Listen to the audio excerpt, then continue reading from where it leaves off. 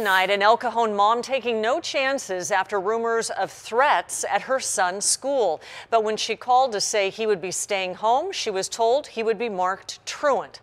10 News anchor Ariel Westler is live at Montgomery Middle School. Ariel, she says that the school said that her safety concerns were no excuse for the boy missing class. Well, Kimberly, that's right. There are 10 reasons that qualify, including illness, medical appointments, and court dates, but not safety concerns. Now, this morning, Montgomery Middle School emailed this letter out to parents pointing to a lack of any evidence of school threats. But one mom is not convinced and says she has that right as a parent.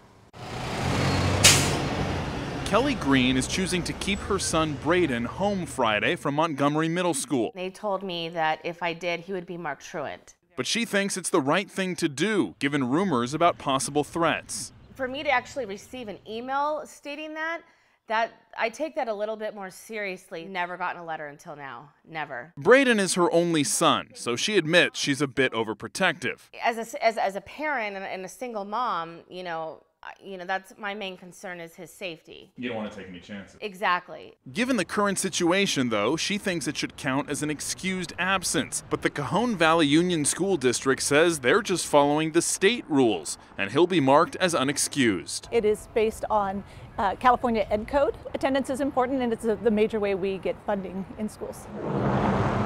The district feels strongly school is the safest place for children. We have like a 1 to 30 ratio. We're listening to students. We have we work with El Cajon Police. Assistant Superintendent Karen Minshew says it would take multiple unexcused absences before it becomes a truancy. But Green argues that's missing the point. I'd rather them lose money than I lose my son. And she wants the rules to change. We shouldn't be punished for keeping them at home for their safety.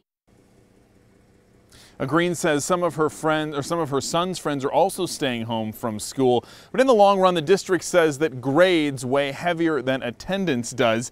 Either way, the district says it offers a free Saturday school once a month where students can make up an absence. We're live in El Cajon tonight. Ariel Wessler, 10 News. Ariel, thanks.